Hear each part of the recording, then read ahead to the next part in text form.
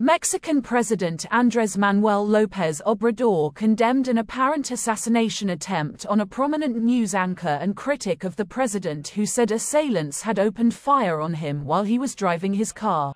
Television and radio presenter Ciro Gomez Leyva said two unidentified people on a motorcycle had shot at him around 200 meters from his home last week and shared images of bullet impacts on the vehicle. Thanks to the vehicle's armor, he was still alive, he said. Gomez was back on the air on his morning radio show. Lopez Obrador, who has repeatedly lambasted Gomez and other prominent journalists critical of his policies, opened his daily morning conference by denouncing the attack. He's a journalist, a human being, but he's also a leader of public opinion. Hurting a figure like Ciro creates a lot of political instability, Lopez Obrador said. Imagine if you just listened to Ciro or Loret de Mola or Sarmiento, Lopez Obrador said, naming him and other leading journalists.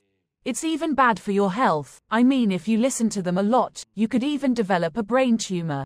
Mexico is the world's most dangerous country for journalists, according to a report published by media watchdog Reporters Without Borders. The report identified 11 killings of media professionals this year, though other groups have documented a higher number.